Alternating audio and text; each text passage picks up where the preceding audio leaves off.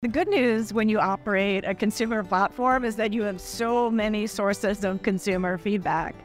There's obviously research that we do directly with our customers and with prospects.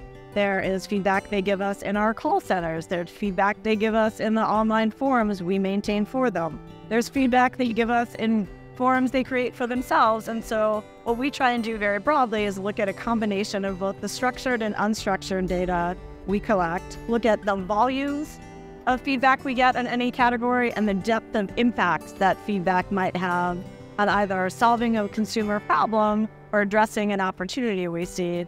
And we basically just rack them and stack them, meaning we prioritize them by impact and scale, and then we methodically plow through them. And the great news is um, not only does it allow us to sort of continue to have like a living and breathing platform and product, but it also means we're kind of constantly in touch and being responsive and anticipatory of our consumers' needs.